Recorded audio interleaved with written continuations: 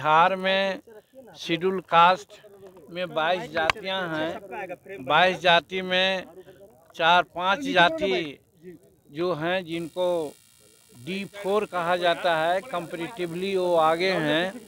लेकिन बाकी वैसी जातियाँ हैं यहाँ जिनका साक्षरता दर 15 प्रतिशत से कम है और वो आर्थिक, सामाजिक, राजनीतिक और शैक्षणिक सभी दृष्टिकोण से ये कमज़ोर हैं। उसमें भी खास करके मुसहर भूइयाँ समाज के लोग हैं, सबसे नीचे पायदान पर हैं।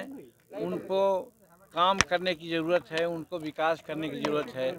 फिर शिक्षा पद्धति पर भी बात हुई कि शैक्षणिक स्थिति यहाँ का ये है कि सरकारी विद्यालय में पैसे तो लग रहे हैं और काफ़ी बजट भी है, लेकिन जो शिक्षा का स्टैंडर्ड है सरकारी विद्यालयों में वो उचित नहीं है इसलिए कि यहाँ प्राइवेट विद्यालय में सब अपने बच्चों को पढ़ाना चाहते हैं।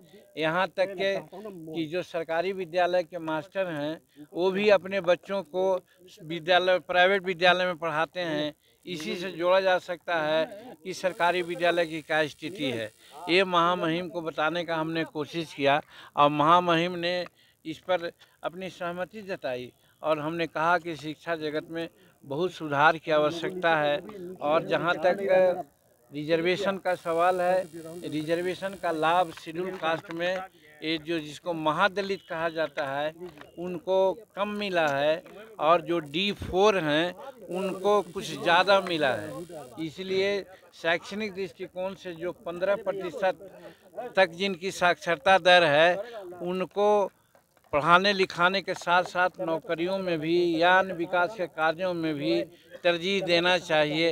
ये बातें इनसे हमने कही है और फिर एक विद्यालय है अछैवट महाविद्यालय महुआ में, उसमें एक शेड्यूल कास्ट के जो हमारे प्रिंसिपल हो सकते हैं या होना है और अभी पदस्थापित हैं, लेकिन कुछ लोग नाजायज़ वो इस कॉलेज सर्विस कमीशन के आदेश और निर्देश के विरुद्ध भी जा कर के उनको हटाने का काम करना चाहते हैं, इस पर भी उनसे हमारी बात हुई। यही बात के चलते आज महामहिम से हम लोग मुलाकात किया और निश्चित रूप में ये खराब है, इसलिए कि जब हेड कोई मास्टर है, सरकारी विद्यालय का वो अपने विद्यालय में अपने बच्चों को क्यों नहीं पढ़ाता है? इससे क्या साबित हो रहा है? यही हमने कहा। हाँ मेरी सरकार है। इसीलिए इसीलिए हमने कहा कि पहले ज़माना में ऐसा होता था कि तीन महीना में इंस्पेक्शन होता था, मुलाजा होता था।